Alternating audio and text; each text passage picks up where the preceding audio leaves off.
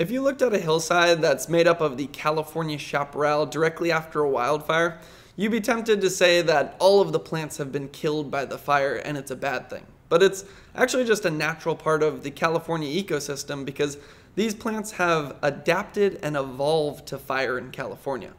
How they survive throughout a fire is even if the entire top of the plant burns off, they have what's called a burl. This is true for a lot of shrubs in the chaparral.